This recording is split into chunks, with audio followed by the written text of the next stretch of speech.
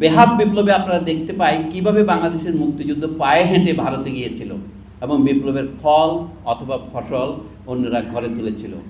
জাতীয় জীবনে আমাদের জুলাই অভ্যুত্থান কি বেহাত হবার লক্ষণ নির্দেশ করে?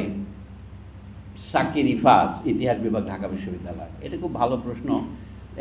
আমাদের আজকে প্রথম আলোতে মাহবুজ আলম সাহেবের একটা ইন্টারভিউ ছাপা হয়েছে। তো মাহবুজ আলম সাহেব ভালো করে বক্তৃতা শুরু করছেন। যে সাহেব বলেছিলেন উনিশশো বাহাত্তর সনে মানে বুঝতে পেরেছিলেন আহমদ সাফা বুদ্ধিজীবীরা উনিশশো একাত্তর বুঝতে পারেনি। তো মাহবুব সাহেব নিজেকে আহমদ সাফার জুতায় দাঁড় করিয়ে বললেন, এই জুলাই অভ্যুত্থানও এখনকার বুদ্ধিজীবীরা বুঝতে পারেনি। কথা বুঝছেন কিন্তু এর মধ্যেই বেহাত হবার সম্ভাবনার জবাবটা উনি দিয়েছেন।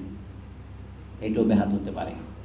সিম্পল একটা কথাই বলি, উনিশশো একাত্তর সনে বাংলাদেশের স্বাধীনতার যে মূল ঘোষণাপত্র দশই এপ্রিলে ছিল সেইটাতে কি লেখা ছিল? আমরা যে নতুন রাষ্ট্র তৈরি করব, তার মূলনীতি হবে তিনটা, সাম্য মানবিক মর্যাদা এবং সামাজিক সুবিচার সেখানে গণতন্ত্র ধর্মনিরপেক্ষতা জাতীয়তাবাদ, কোনো কথাই ছিল না, সমাজতন্ত্রও ছিল না।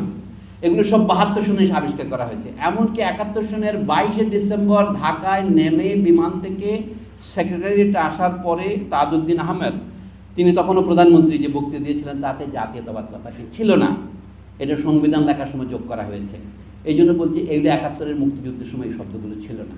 ওই বেহাত হওয়ার লক্ষণ কিন্তু ওই সংবিধানের মধ্যে আছে। এই সংবিধানটা কিন্তু সম্পূর্ণ একাত্তরের স্পিরিটের সাথে বেইমানি করে লেখা হয়েছে।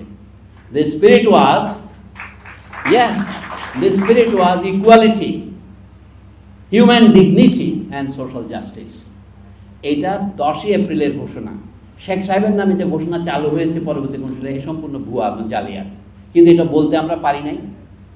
কিন্তু তারা কোনো প্রমাণও হাজির করে নাই। শেখ সাহেবের কোনো মুখের জবান বাণীবদ্ধ নাই, কোনো স্বাক্ষর নাই, একজন ট্রান্সমিট যে করেছে সেরকম কোনো নথিও নাই। এই জন্য বলতে একটা দেশ এরকম চলতে পারে না। বেহাত হওয়ার লক্ষণ তখনই ছিল যে উনিশশো বাহাত্তরে এই বিপ্লব বেহাত হয়ে গেছে।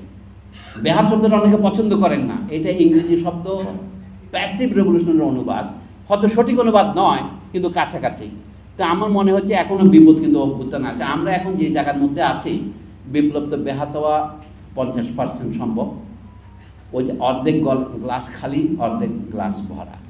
তো আমি এখন পুরোপুরি আর বলতে পারব না।